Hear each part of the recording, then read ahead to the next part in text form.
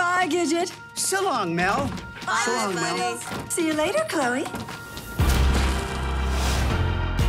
Animals in general are really one of the best parts of living on this planet.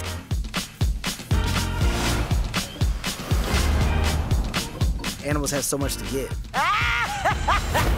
Uh-oh. Just ignore what just happened, okay? I'm definitely one of those people that thinks that my dog has very complex emotions. Help me! Oh, don't look at him! Look at me! Nobody can help you!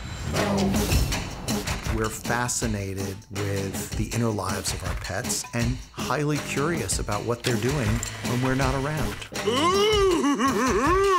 You want to start with me, little raisin? Uh-uh. Throwing parties for each other, You said it was a costume party! listening to rock and roll music. I come home, stuff's all over the place. Weird stuff, like the bathtub is downstairs. Don't know how that happened. We finally all know the truth that pets get up to all kinds of adventures when you leave.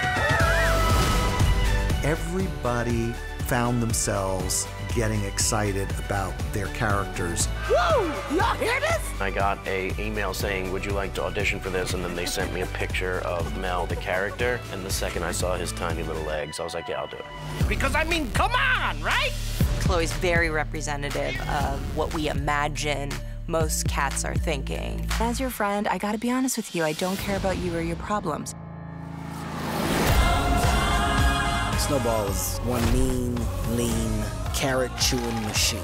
He's representing a world of pets that are from the underground.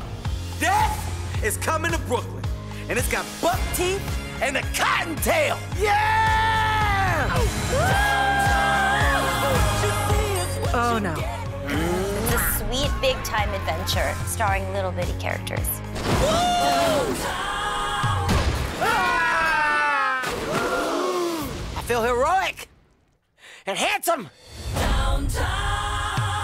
A little wet, but I still look good. I look good.